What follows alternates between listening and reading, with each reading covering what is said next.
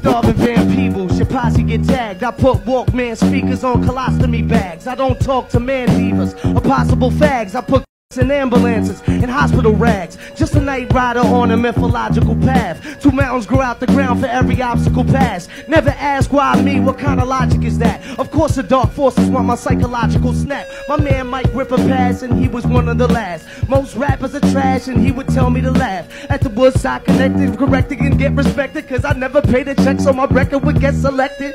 Still watch artists for smelling like hot garbage. Get your guap garnished for saying it's not carnage.